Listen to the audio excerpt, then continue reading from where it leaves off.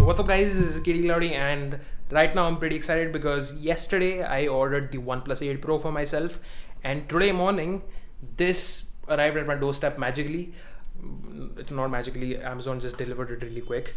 But yeah, I'm really excited to have this because this is my first flagship in years and this is going to be a huge upgrade from my Redmi Note 7 Pro. So I'm pretty happy with the purchase. But in this video, I'll be sharing my first 48 hours with this device uh, sharing all the experience and all the nitty gritty details. Uh, starting with right now, which is R0, where I unbox this beast and you guys see it. So, yeah, without further ado, let's just jump into the unboxing.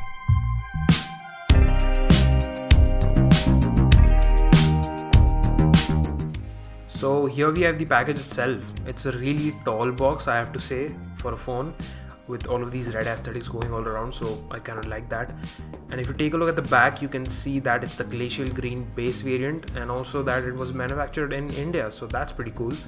But yeah I'm just gonna skim through these stuff. It's just a normal phone unboxing. Uh, you get the phone itself wrapped in this frost plastic jacket and opening it and holding it for the first time I literally just went. Oh my god! Yeah. Now rest of the packaging is pretty standard although you do get some cool looking paperwork which is super unnecessary but you do get some really cool stickers and the 30 watt power adapter and the USB cable and I wish this USB cable was type C to type C and not type A to type C but that's okay.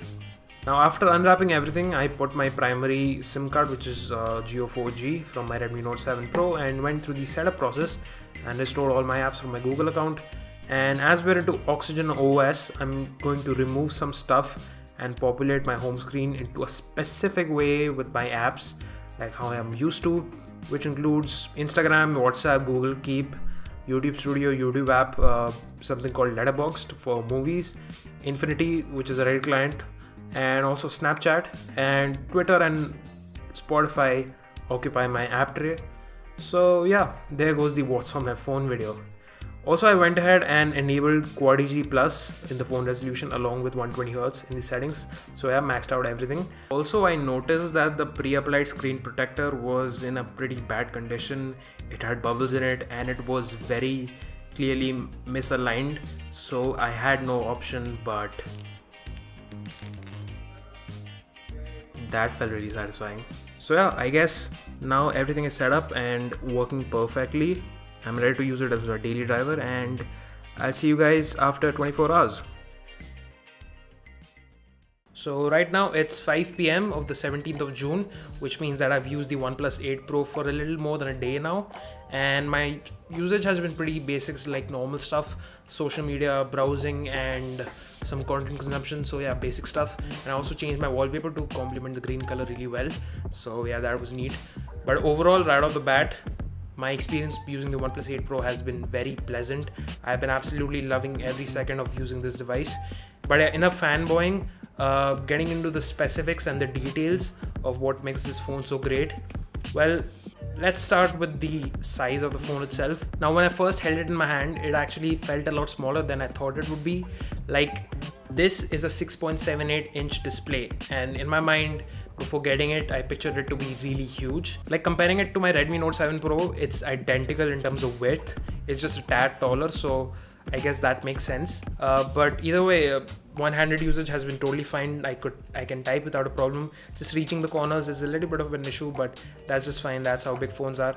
But overall, this in terms of size, this hasn't been a problem for me. This is not too big for me. It's just ideally the perfect size. Now moving into the actual display itself that 6.78 inch amoled monstrosity yeah it's really good. Like really really good. Like i'm not even kidding. 120 hertz i mean how can i describe it? It's, it's just it's just something else you need to experience it yourself uh, but other than that hdr playback on netflix and prime video has made a major difference to the video quality. And also using the uh, in-screen fingerprint reader for the first time was also a really good experience.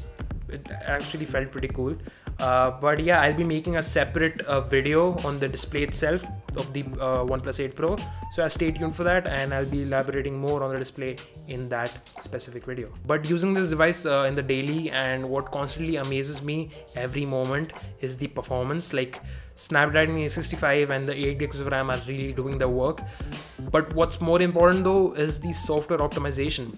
Oxygen OS is so so good. Like it's so clean. I mean, I'm a kind of a person. I have a problem. I am kind of addicted to pixel related UIs, and for the past four five years, I've used nothing but stock Android through ROMs or actually using a Nexus or a Pixel device. And that's my solution to everything. I bought the Redmi Note 7 Pro, MIUI, I don't like it. My solution, flash a ROM. It's kind of a problem, I'm not even kidding. But yeah, Oxygen OS is pretty much every bit as clean as stock Android, if not cleaner. Yes, it has its own style and UI, uh, which I can kind of respect and get used to. And there are a bunch of new features I'm exposed to, like pocket mode and expanded screenshots, things which I missed in the Pixel user experience. So that was also a good addition. Also, I got a software update and I installed it last night, and I got to find out that this supports uh, the AB partitioning or seamless updates as they call it. So applying the update did barely took any time, so that's also pretty good. So yeah, Oxygen OS has been pretty sweet, and that's all I had to say for day one. Uh, I'll see you again after a couple more hours of usage. Uh, so it has been two full days and nights almost uh, of me using the OnePlus 8 Pro and finally I'll be wrapping up with a few of my miscellaneous thoughts. Firstly, I wanted to address the hole punch cutout on the OnePlus 8 Pro.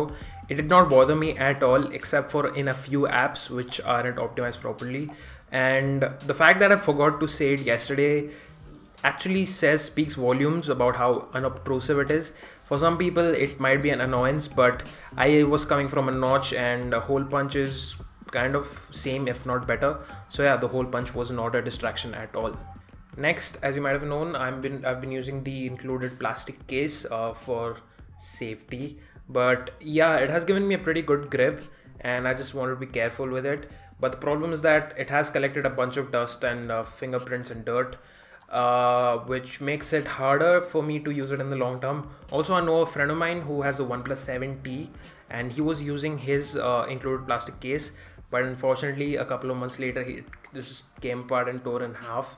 So yeah, I'll be definitely getting a new case if I am pretty serious about protection. I also took a bunch of calls and noticed that this phone supports voice over Wi-Fi. Now I know it's not a big deal or anything, but it's just silly of me to point it out. But yeah, it was nice for me to use uh, voice over Wi-Fi for the first time and uh, it shows up uh, over here at the top as a logo which is nice and also it, it worked pretty seamlessly I did not notice a difference in quality uh, but yeah it worked pretty seamlessly considering that is I'm using Jio on my phone and not JioFiber uh, on my Wi-Fi my Wi-Fi ISP is uh, SpectraNet but yeah everything worked out pretty seamlessly and it was fun to try out voice over Wi-Fi I also took a couple of photos, not a whole lot, with the quad camera setup of the OnePlus 8 Pro. And in my limit testing, it turned out to be awesome.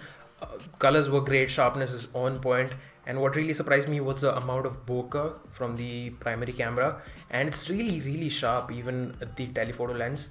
And yeah, having three focal lengths really was useful at my disposal. You can definitely do some pretty creative things if you have three set of focal lengths so that was pretty nice also if you're wondering about the color filter camera situation uh, the pl- see-through plastics thing uh, that's disabled in indian units by default uh, which i guess is a pretty wise move uh, on oneplus's part and uh, if you go into the settings and look for it you just won't find that photochrome option anymore so yeah there you go a little tidbit for you now battery life has also been pretty good uh, yesterday I started my day at 9:30 a.m. and took the phone off the charger and set the refresh rate to 60 hertz just to see how long will the battery last. And at 11 a, 11 p.m. at night, uh, the battery fell down to 27% with and gave me about six and a half hours of screen on time, which is pretty impressive. Now that's the benchmark set with 60 hertz. The only thing which is left to see is that how how good or bad would the battery perform with 120 hertz and quad HD plus on all the time. and so far if i'm to check it's about 2 p.m right now i same took off the phone off the charger today morning at uh, 10 a.m or 9 a.m ish and right now the battery is at 56 percent and has given me about three and a half hours of screen on time which is i guess pretty good. I have to check about how uh, does it do till the end of the day. So yeah if you want to know more about the battery life be sure to follow me on twitter. I am i'm tweeting all the time. So yeah just do it. Now warp charger has been terrific. It has really impressed me. Now i'm not a really huge fan of like VOOC charging and warp charging and proprietary charging technologies i'm all in for the universal uh, usb power delivery standard but nevertheless it definitely impressed me with the results I it was last night and uh, my phone was at 25%. I put it to charge and I kid you not, within an hour, my phone went from 25% to a full 100%, and that's pretty mind blowing. I'm I'm not gonna lie. Uh, so yeah, I haven't been able to test wireless charging yet, uh, since I don't have a wireless charger, but that should be pretty soon. But yeah, otherwise, uh, as far as nitpicks go, as far as uh, any complaints, not a whole lot, just one small nitpick. The optical fingerprint reader, which I've been a fan of, and I said it looks pretty cool and feels pretty cool. That is true, but at night when it's all dark, when you try to unlock your phone, it just blasts out this crazy uh, high brightness uh, light, which kind of hurts your eyes a little bit. That's my only silly nitpick in this otherwise seemingly perfect phone. Obviously, these were just my first two days. I really need to thoroughly test the HDR display, really need to test the performance, uh, the speakers which are really good, the Dolby Atmos and all that things. Uh, also need to test the cameras. Whole bunch of testing required. Uh, let me know what else you want to see in the upcoming few videos. And yeah, I guess that's basically it. Thank you so much for watching. Hope you guys enjoyed this fun little video I did for the first time. And uh, subscribe. And I'll catch you guys in the next one. Cheers.